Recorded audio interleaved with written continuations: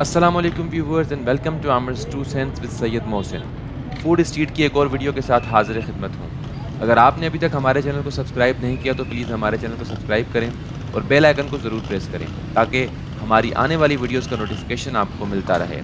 इस वक्त मैं मौजूद हूँ हुसैनाबाद फ़ूड स्ट्रीट में, और मैं यहाँ पर बर्गर खाने आया।